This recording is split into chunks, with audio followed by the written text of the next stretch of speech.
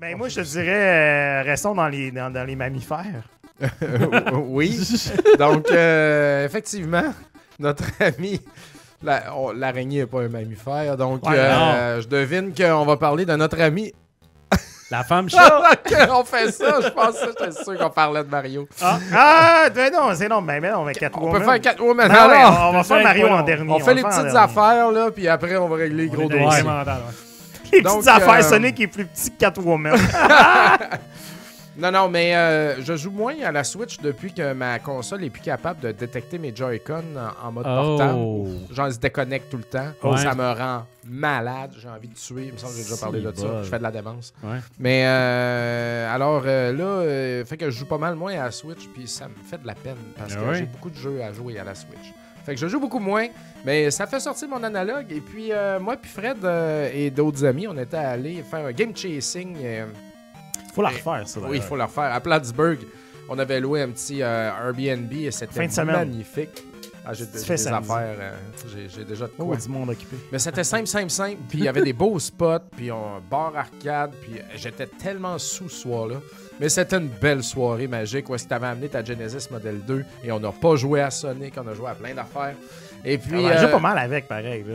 c'est ça, on a joué toute la soirée roulé. avec ça. Mais on avait aussi euh, une pocket, je pense, ou Ouais, quelque ma chose. pocket avec tous les, Oui. les, les corps. Oui, exact. Fait qu'on a, j'ai acheté, j'ai chassé Catwoman dans une place parce que je suis allé voir du gameplay. Puis moi, j'aime ça ramasser les, les cassettes Ruby, comme mon ami Ouais. euh, Patrick Doyon. Il dit c'est les cassettes de Game Boy Color, pas les noires, là, les transparentes que tu vois le board. Ça fait Ouais. vert, c'est comme des rubis. Pas des vrai? rubis, des émeraudes, excusez-moi.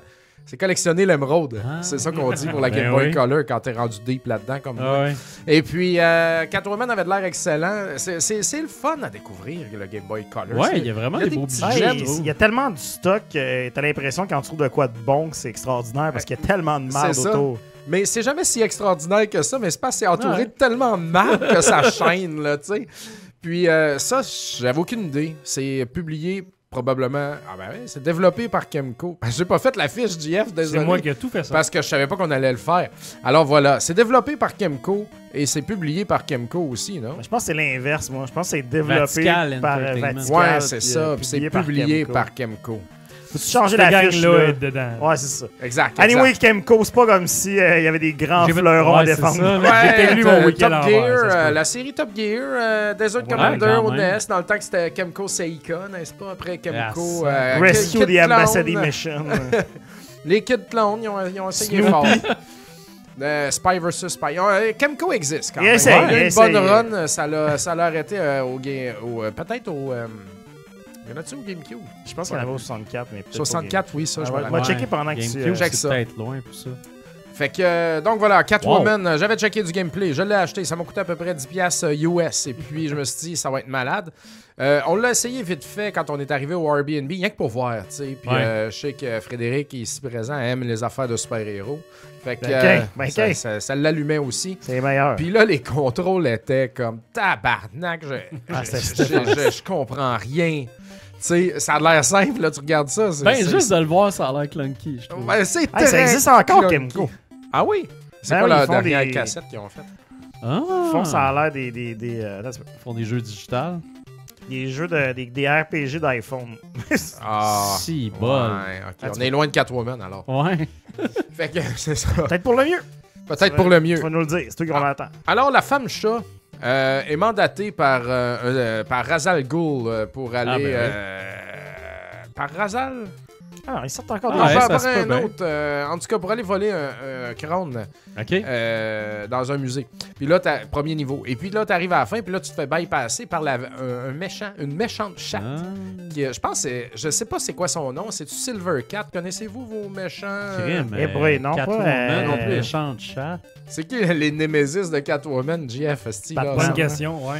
Ben, en tout cas, c'était une, ch- une chatonne, là, tout en silver, là, et puis euh, elle est engagée par Razal Ghul pour aller snapper le skull que nous, on allait sortir du musée. Et s'ensuit une course infernale, et puis on se ramasse dans le repère de, Raza- de Nazal Ghul.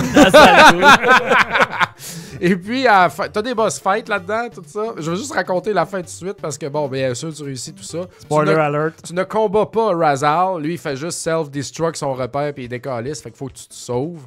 Puis une fois dehors, t'as le crâne dans tes mains. Il y a des très belles cutscenes cutscenes, euh, entre chaque Ouais, c'était niveau. beau le style quand même. Ça, c'était bien fait. Et puis là, c'est juste, elle regarde ça, elle dit bon, ben. euh, Puis là, il y a une ombre de Batman. une cutscene, là, d'ailleurs. Regarde ça, Ouais, belle cutscene. que ça.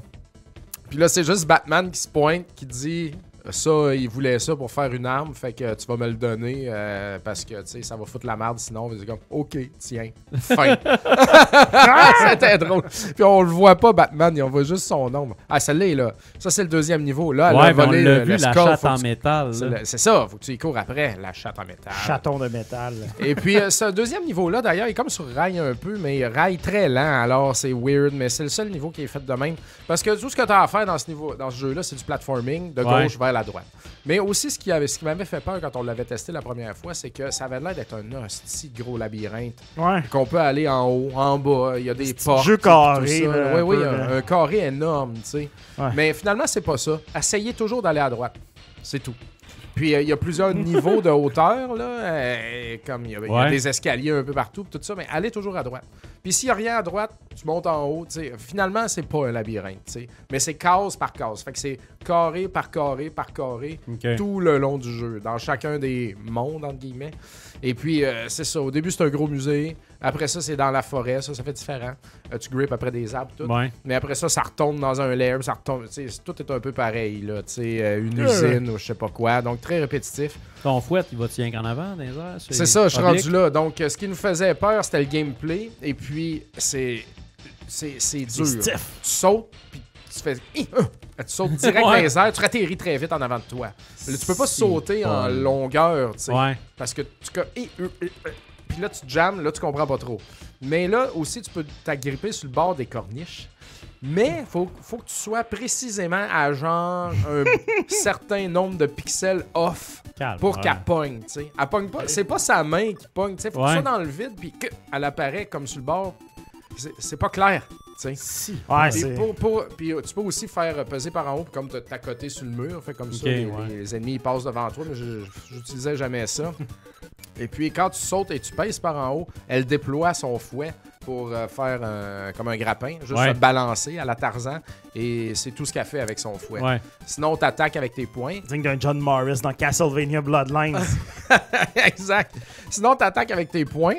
Et puis les ennemis qui sont là, puis ils droppent des cœurs tout le temps, puis sinon il y a des cœurs à ramasser. Fait que tu sais, tu manques jamais de vie là-dedans. là. Puis même si tu meurs, tu recommences tout le temps dans la séquence, dans le carré que t'es rendu. Puis a- t'as des passwords, quand tu payes select, tu le vois. Et puis euh, ça le met sur pause en fait, puis le password apparaît. Puis euh, ça c'est facile, facile. Fait que tu sais, tu peux pas mourir là. ça prend-tu comme 15 minutes le finir? Ça a Ouais. l'air de ça, mais il est quand même 38 long. minutes. C'est quand même un petit peu long. 38. Et puis, C'est à peu près ça la vidéo que j'avais vue quand je l'ai faite. ah ouais, hein? Un- ben une c'est run ça. de 45 minutes, mettons. Là. Le temps de te perdre un peu. Puis tout. Tu vois, Ouais. elle essaye, là. As-tu vu comment c'est. Ouais, C'était pas vis-à-vis la, la corniche? Puis là, j'ai découvert très tard que quand tu cours, tu marches, puis que tu pèses par en, diagonale par en haut et par en avant, là, tu fais un saut vers l'avant. Parce que des fois, faut que tu, faut que tu sautes par-dessus un trou, tu sais. Ouais. Puis là, j'essayais avec mon, mon fouet, ça marche pas. Là, je drop, je descends, je remonte la corniche. je- Fait que le- le- la frustration de platforming qui m'a presque fait lâcher le jeu, je l'ai vécu deux fois, mettons. Où est-ce Ouais. que là, fallait que je fouette. Puis quand tu tombes, tu tombes tellement raide. Là, c'est ah non, faut que je tombe, mais là. Puis pendant que tu tombes, tu peux pas te contrôler. Ouais. Bref, stiff, stiff, stiff, clunky, fucké. Mais à force de jouer, j'ai compris, tu sais, comme. Puis à- ah oui, puis il y, a- il y a aussi de quoi quand tu sautes sur un mur, elle fait un wall jump, un triangle jump comme dans Strider, mais automatique.